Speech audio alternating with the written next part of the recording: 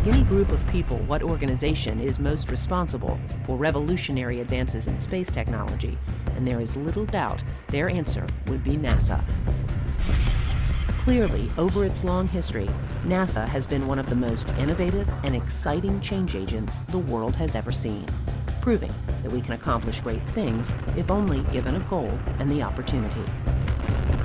That feeling has been firmly imprinted on the NASA DNA and continues to motivate all those who push the envelope of technology. But rather than just rest on its laurels, NASA is moving to expand its role as a change agent in new and exciting ways. In order to do this, the NASA culture will need some minor tweaking first. Today's generation of NASA researchers are working to alter some outmoded practices of how technologies are developed and implemented at NASA. If these ideas take root, they have the potential to revolutionize NASA from the inside out. Coming up on this episode of NASA X, we will follow members of Space Technology's Game Changing Development Program Office as they work to revolutionize and mature new technologies within NASA.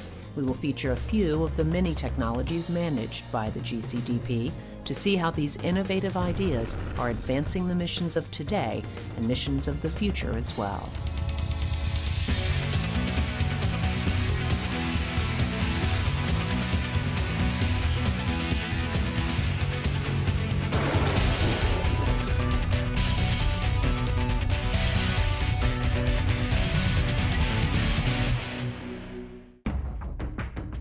NASA has a long and storied past.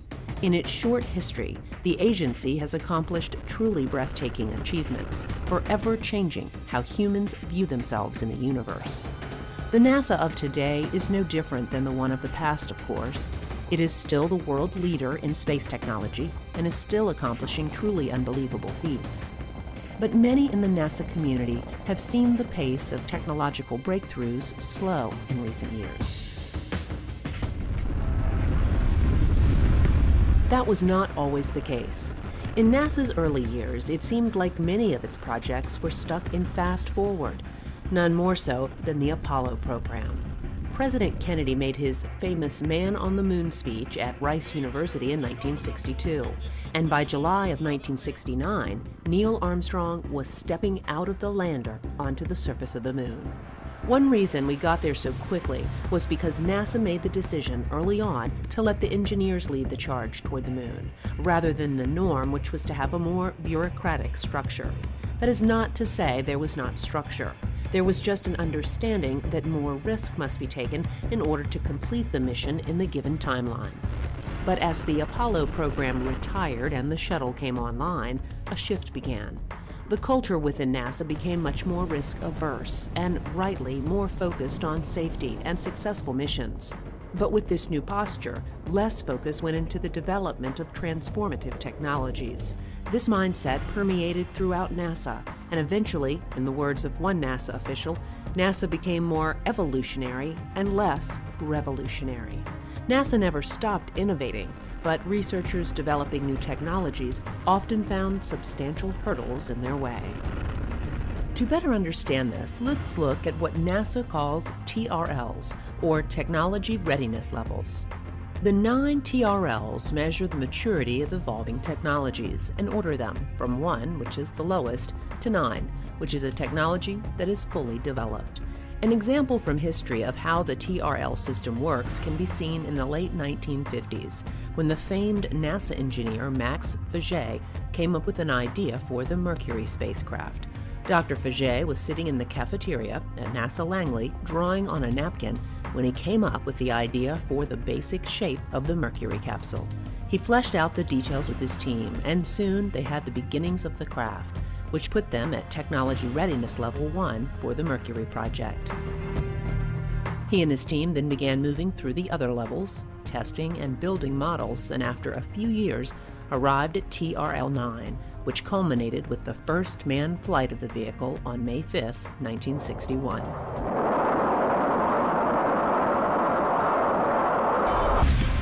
The same basic concept is still used today Researchers come up with concepts and ideas and hope to move them through the early TRL stages all the way to full maturity.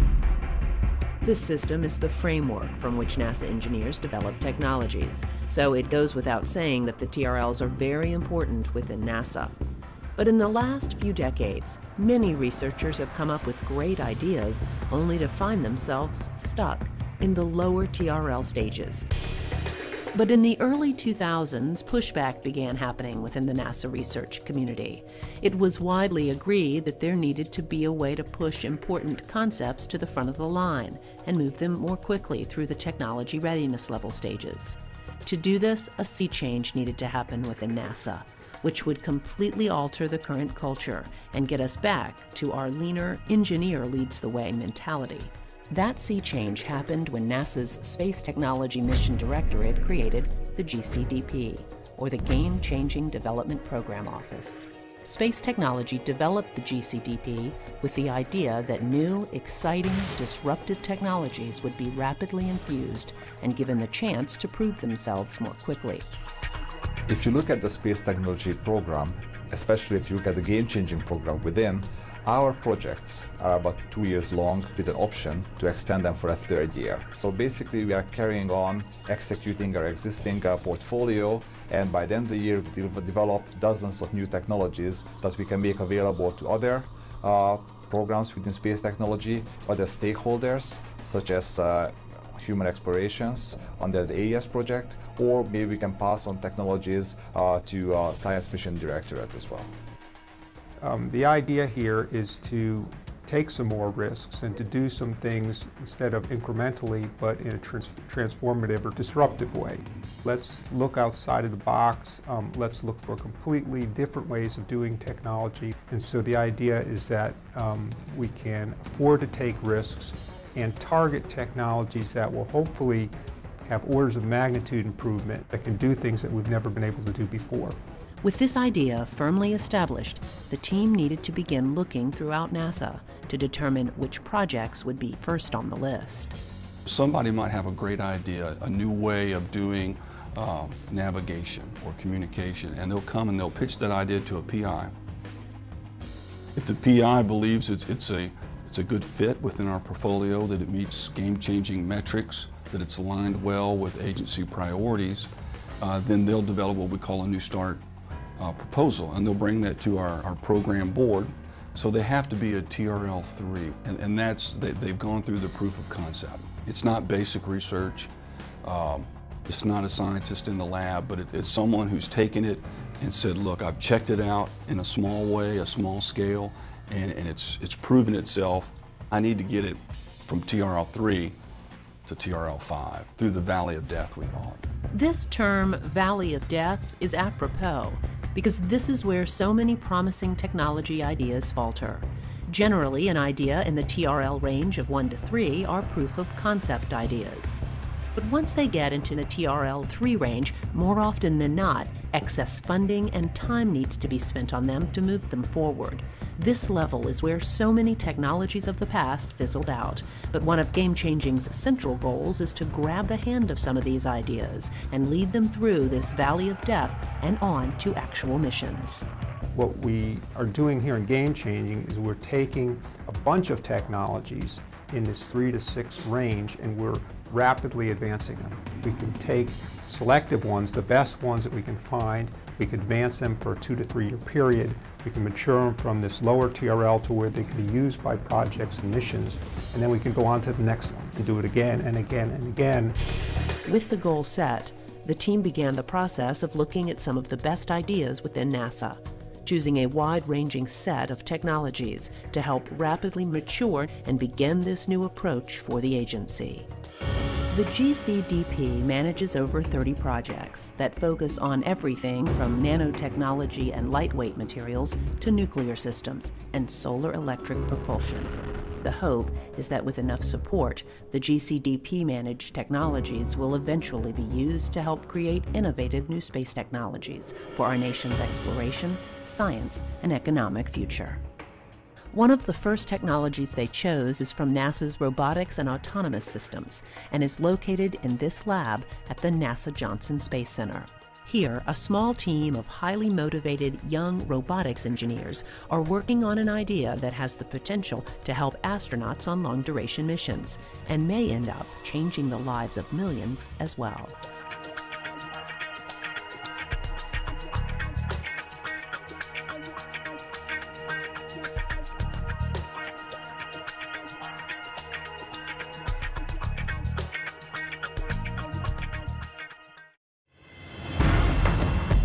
One of the first Space Technologies GCDP projects we will explore is located in this lab at the NASA Johnson Space Center. Here, a group of NASA researchers have come up with an exoskeleton that they call the X1. It has the potential to solve some major problems for astronauts on long duration missions. This 60 pound assisted mobility device is worn on the legs of the wearer and is used to assist them in various ways. To understand why NASA is interested in a device like this, you have to understand a little about physics in space. A major problem faced by astronauts in space is bone loss and muscle atrophy due to a lack of use. Generally, on shorter trips, the bone and muscle density problem can be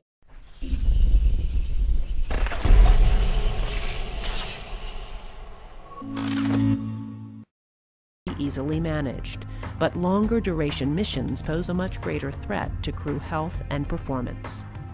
Here on Earth, we use our legs every day to walk around, but on orbit, the astronauts are in microgravity, so muscles and bones, especially those in the legs, aren't being used as they would be normally. Because of this, muscles weaken and bones begin to lose their density. As a result, some astronauts come back to Earth with up to 30% less bone structure in their legs and with significantly weakened muscles. To combat this, NASA doctors prescribe a strict regimen of exercise on orbit, but there is only so much that can be done. Generally, there is a treadmill and other bulky devices used to keep in shape, but these only provide limited success. The X1 may be able to change that. I guess one of the biggest things for NASA and their astronauts is keeping their astronauts safe and keeping them fit and keeping them in good shape. We're looking at in um, in the next few years, we're going to start sending astronauts to the space station for year-long missions instead of just six months, right? And so how do we keep them fit? How do we look at muscle density loss and bone density loss and muscle atrophy and things like that? If we look at a device like this, look how much, you can see how much smaller and compact it is. And this is really going to hopefully pave the way towards smaller technologies for countermeasures that we can use when we're in a smaller capsule and we want to go back to the moon and L2 and Mars. So the goal on space station, we're looking at two different things right now. Uh, we're looking at it for dynamometry applications, which is basically measuring muscle strength. And so we've been working with the Human Health and Performance Group and saying, wouldn't it be great if we had a device on space station that we could use to measure muscle strength while they're up there? Because they don't do that right now. So now what they can, what we're looking at this to do is say, you know, you go use ARED, you go use a treadmill or the stationary bike, and then maybe once a month or once every two weeks, you use the X1 as a dynamometry application so we can measure your muscle strength. And we can really start to close the loop with the physicians on the ground and the prescriptions of exercise that they're giving the astronauts to see how effective they are. You know, at its core, it's a mobility assistance device. So you can imagine that when we go to Mars, no matter how much you exercise along the way, you're going to be very tired when you get there. And so now maybe we can use this not only for exercise, but you can use it for mobility assistance when you get there because you're going to be weak. All your joints that are actuated, you can use them to resist you or you can use them to assist you. NASA is very interested in the X1 for use in space, and this same device could also be a game changer for anyone who needs rehabilitation, like stroke victims. X1 could be even more life changing for paraplegics. Early on in its development, the team partnered with the Florida Institute for Human and Machine Cognition. This group has been working on a mobility device that could serve as the legs for wheelchair bound patients. At that time, they had their own exoskeleton that they had developed called Mina V0, and they were really focused on mobility assistance, um, helping persons with paraplegia get up out of the wheelchair walking again. And at the same time, we had, you know, Robonaut, which we had just flown to space station. We worked on all this hardware. We developed all the all the actuators and all the mechanical and electrical assemblies for that. We developed all the safety systems in order to be able to send it to space station.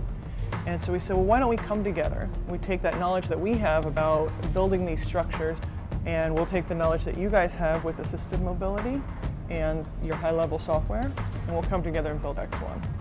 And so X1 is really about improving life for people here on Earth and in space. The X1 has the potential to change the lives of anyone suffering from limited mobility.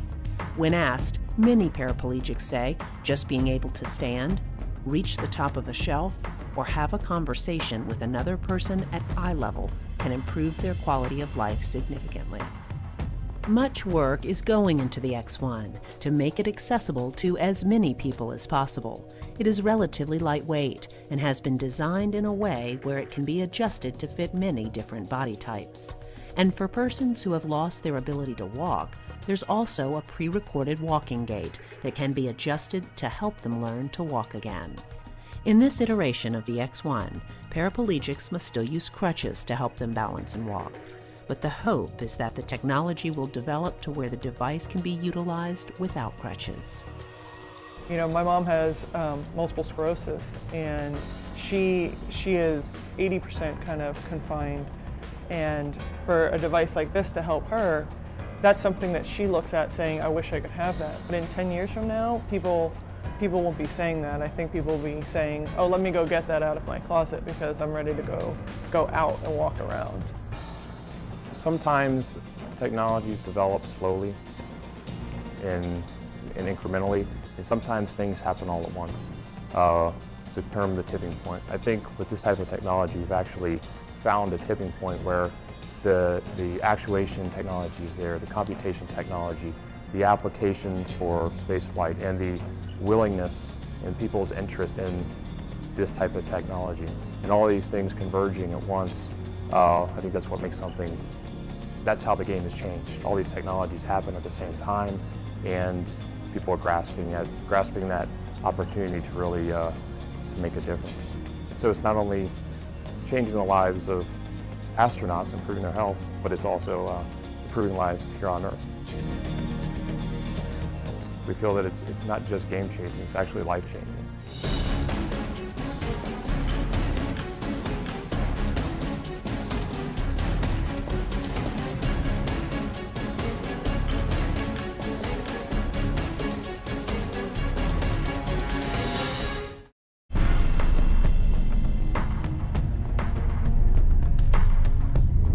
Spaceflight has many obstacles, one of which is weight.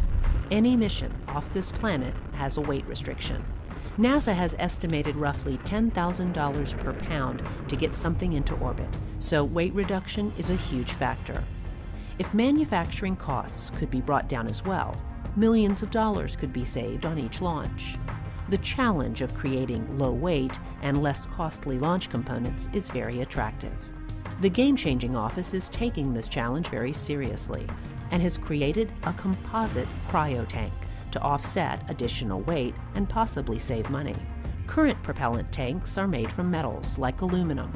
As the name suggests, the composite cryo tank is being made from a strong, lightweight composite material that have a huge upside when talking about saving weight and money.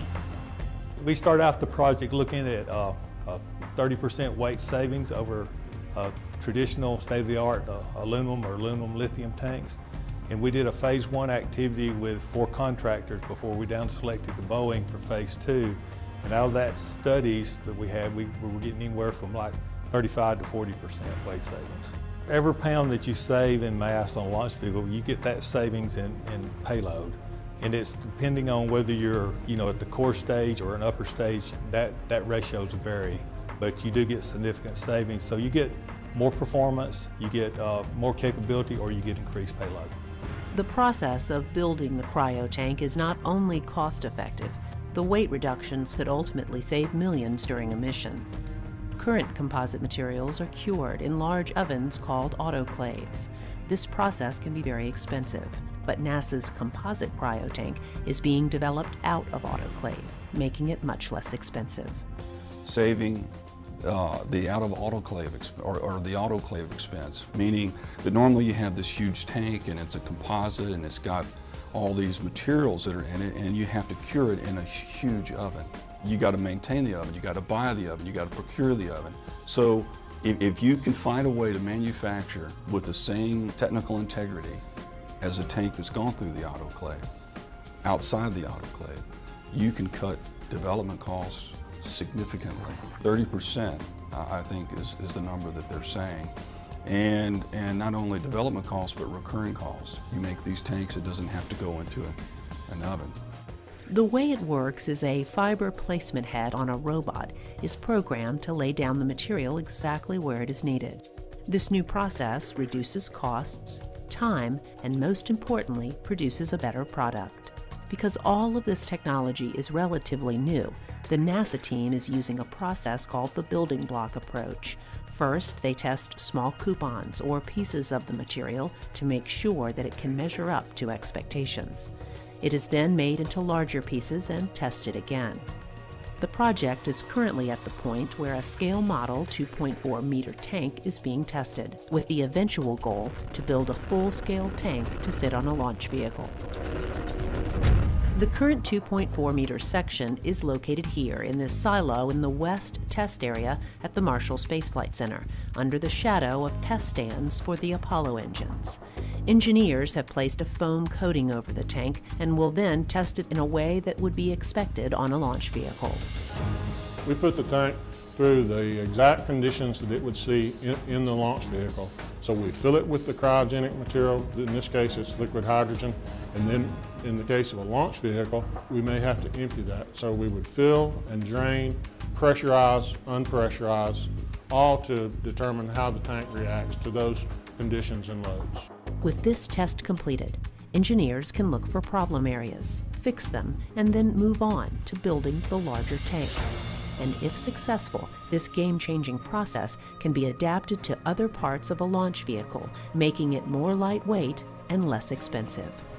These are just a few of the ideas that are being worked on by the Game Changing Development Program Office. But many more innovative ideas and technologies are being moved through the game changing lane each day. And with each new development, change is coming to NASA that is allowing the agency to rapidly infuse technology and make smarter decisions about how to move forward and create different approaches while changing the culture. Much of the credit for this positive change can be placed directly at the feet of Space Technology's Game Changing Development Program Office. Personally, I, I would love if five years from now somebody said they really changed the game. They made a difference for NASA. That's all I'd need to hear.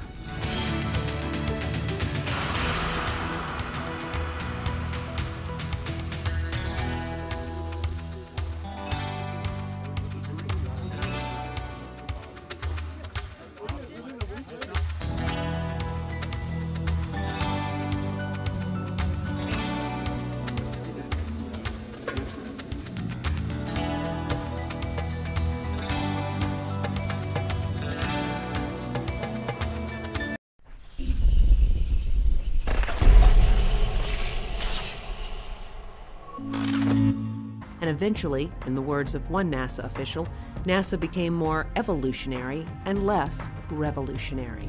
NASA never stopped innovating, but researchers developing new technologies often found substantial hurdles in their way. To better understand this, let's look at what NASA calls TRLs, or Technology Readiness Levels. The nine TRLs measure the maturity of evolving technologies and order them from 1, which is the lowest, to 9, which is a technology that is fully developed. An example from history of how the TRL system works can be seen in the late 1950s, when the famed NASA engineer Max Faget came up with an idea for the Mercury spacecraft. Dr. Faget was sitting in the cafeteria at NASA Langley drawing on a napkin when he came up with the idea for the basic shape of the Mercury capsule.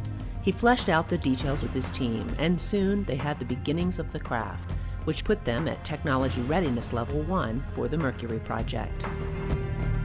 He and his team then began moving through the other levels, testing and building models, and after a few years, arrived at TRL 9, which culminated with the first manned flight of the vehicle on May 5, 1961.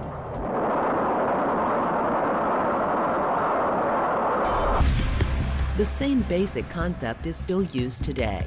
Researchers come up with concepts and ideas and hope to move coupons or pieces of the material to make sure that it can measure up to expectations. It is then made into larger pieces and tested again.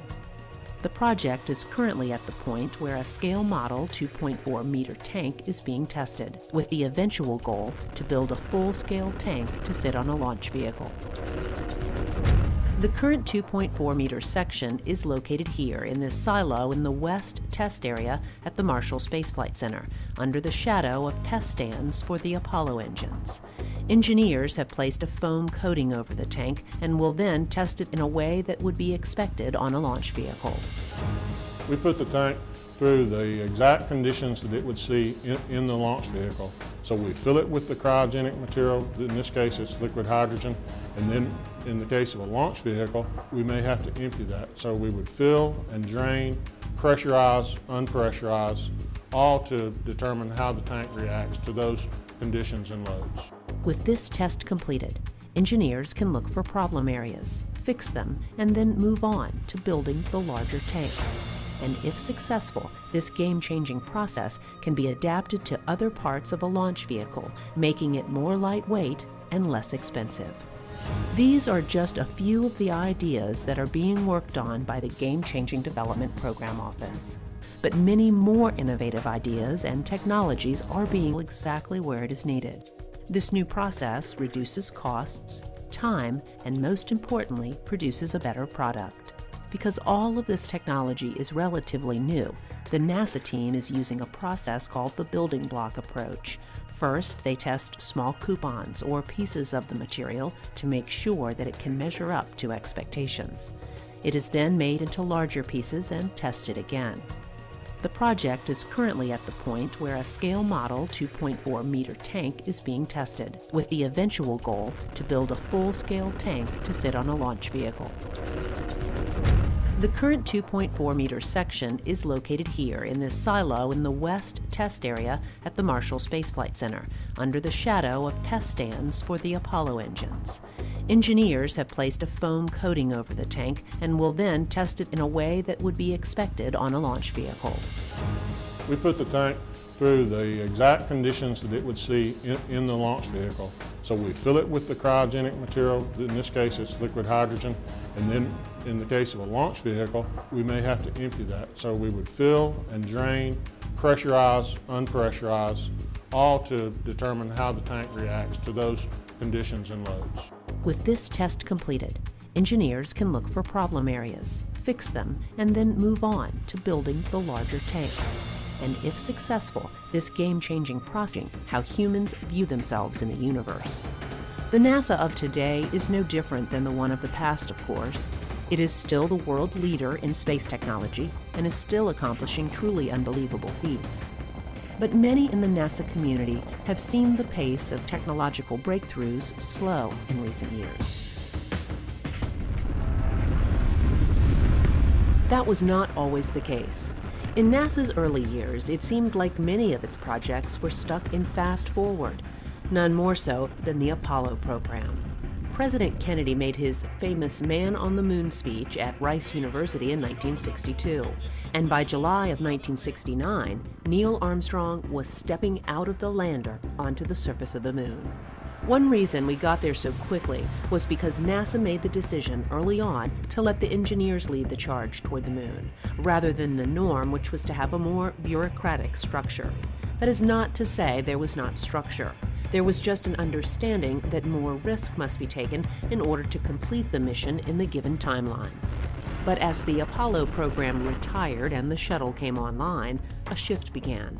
The culture within NASA became much more risk averse and, rightly, more focused on safety and successful missions. But with this new posture, less focus went into the development of transformative technologies. This mindset permeated throughout NASA and eventually selective ones, the best ones that we can find, We can advance them for a two to three year period. We can mature them from this lower TRL to where they can be used by projects and missions. And then we can go on to the next one and do it again and again and again. With the goal set, the team began the process of looking at some of the best ideas within NASA, choosing a wide ranging set of technologies to help rapidly mature and begin this new approach for the agency. The GCDP manages over 30 projects that focus on everything from nanotechnology and lightweight materials to nuclear systems and solar electric propulsion.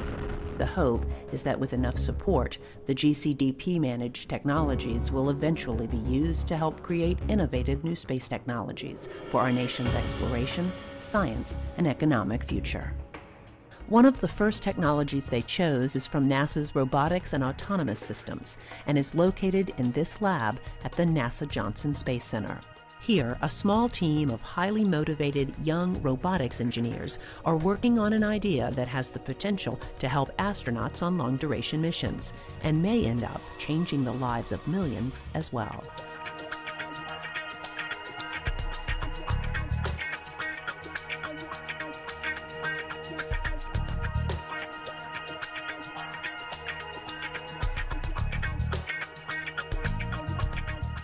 Hired and the shuttle came online, a shift began. The culture within NASA became much more risk averse and, rightly, more focused on safety and successful missions. But with this new posture, less focus went into the development of transformative technologies. This mindset permeated throughout NASA, and eventually, in the words of one NASA official, NASA became more evolutionary and less revolutionary. NASA never stopped innovating, but researchers developing new technologies often found substantial hurdles in their way. To better understand this, let's look at what NASA calls TRLs, or Technology Readiness Levels. The nine TRLs measure the maturity of evolving technologies and order them from 1, which is the lowest, to 9, which is a technology that is fully developed. An example from history of how the TRL system works can be seen in the late 1950s, when the famed NASA engineer Max Faget came up with an idea for the Mercury spacecraft. Dr. Faget was sitting in the cafeteria at NASA Langley drawing on a napkin when he came up with the idea for the basic shape of the Mercury capsule. He fleshed out the details with his team, and soon they had the beginnings of the craft which put them at Technology Readiness Level 1 for the Mercury project. He and his team then began moving through the other levels, testing and building models, and after a few years, the basic concept is still used today. Researchers come up with concepts and ideas and hope to move them through the early TRL stages all the way to full maturity. This system is the framework from which NASA engineers develop technologies, so it goes without saying that the TRLs are very important within NASA. But in the last few decades, many researchers have come up with great ideas only to find themselves stuck in the lower TRL stages. But in the early 2000s, pushback began happening within the NASA research community.